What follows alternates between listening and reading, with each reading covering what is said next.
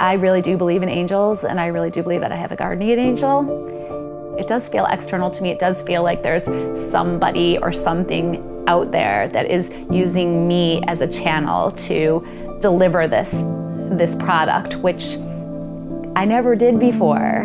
I didn't do this before.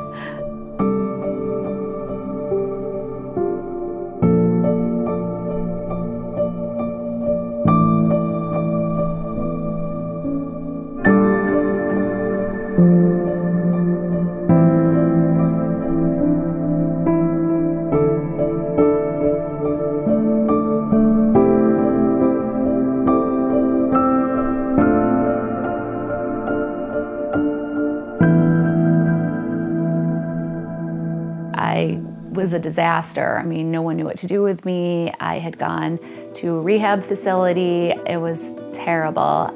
But while I was home with nothing to do and being miserable and in so much physical pain, a good friend of mine came over and said, Look, if you're going to be like this for the rest of your life, you're going to have to figure out something to do with yourself.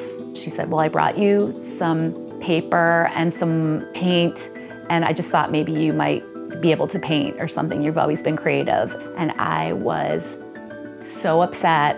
I've never been able to paint in my life, so why would I be able to paint now? But when you are stuck with hundreds of hours by yourself in a room, you know, I started to look at the supplies and I went, eh, you know, I'll just try and doodle. And what I found was that while I was still very cognitively confused and uncomfortable, eh, the doodling made the time go faster.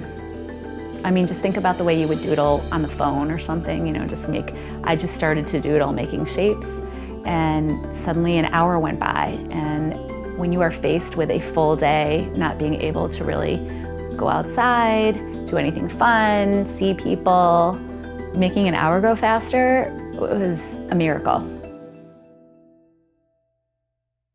I just started making these paintings of little, actually they started as little hearts with a lot of texture on them. At that point, Facebook was just a lifeline for me. So I would do one and I would just like put it up there and say, you know, this is what I did today.